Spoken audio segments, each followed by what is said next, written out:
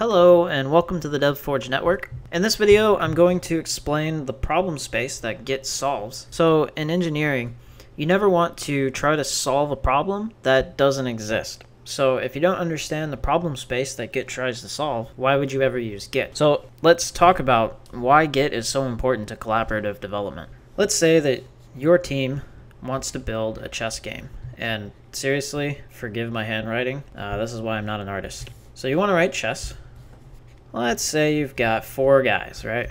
Four machines here. Alright, so this guy's to write the UI. This guy's to write the AI. This guy's to write, I don't know, the server.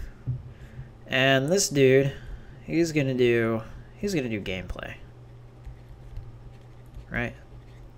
So you got these four guys. One scenario is that each of these developers is going to build their their part of the chess game in a bubble.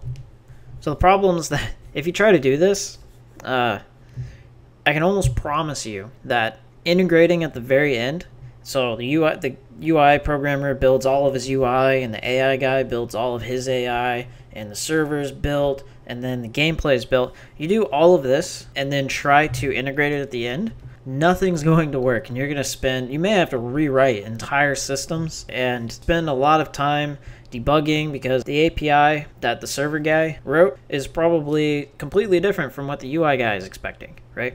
So, so you don't want to do this. Instead, what we need is a way for as each piece of the AI is completed and each piece of the server is completed, uh, there needs to be a central a central location that they can kind of push all of their stuff to that is visible to all of the different developers involved. So UI guy writes UI, AI guy writes AI, the server's done.